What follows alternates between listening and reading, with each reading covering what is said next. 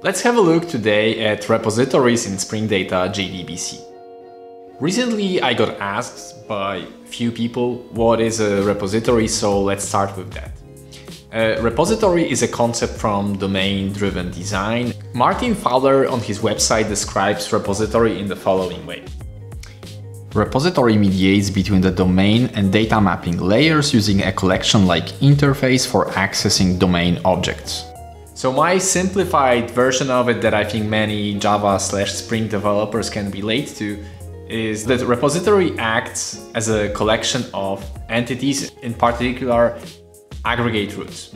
So to this collection you can add objects, you can delete them, you can also update them, and you can of course also take the data out of this collection.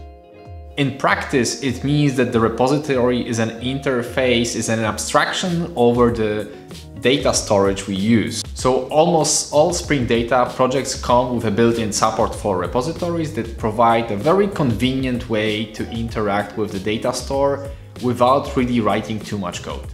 Spring Data comes out of the box with a CRUD repository and paging and sorting repository. CRUD repository is a very, very simple one that provides like all the basic methods for creating, reading, updating and deleting, like fetching all the items from the database, fetching item only by ID, and so on. Paging and sorting is like an enhanced version of CRUD repository where we can fetch the data sorted by a particular field or we can also do the pagination so we can skip some elements, take only some portion of elements. I think it's quite self-explanatory. So now to the point, Spring Data JDBC. Spring Data JDBC comes with a support for CRUD repository only. So for any of these basic methods like creating, reading, updating and deleting, you don't really need to write any SQL code. You just, just use an existing method and it works out of the box. You can also write custom queries that don't necessarily map exactly to the entities, and then you can map them to your custom objects.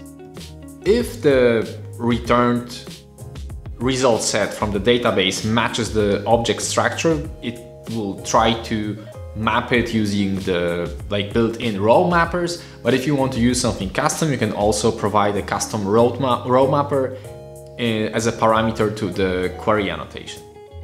So what about paging and sorting?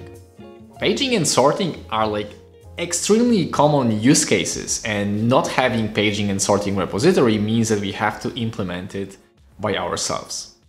There is no problem with passing a limit and offset through just a method parameters, but I realized that it's not possible or at least I couldn't really find a way to pass the order in a reliable way. Because as far as I can see, JDBC prevents you from binding these parameters to the order field. So although it is possible to make it custom bean and pass this method parameters to this bean, probably, it seems like there's like too much work in comparison to what we are used to from other Spring Data projects. Of course, if you have like only a couple of use cases where you just order by some field and it's only this one field and it never changes, then you can just hard code it in the query itself. But if you need something more flexible, then I think the Spring Data JDBC is just not really working well in this case. Another thing that is missing are derived queries.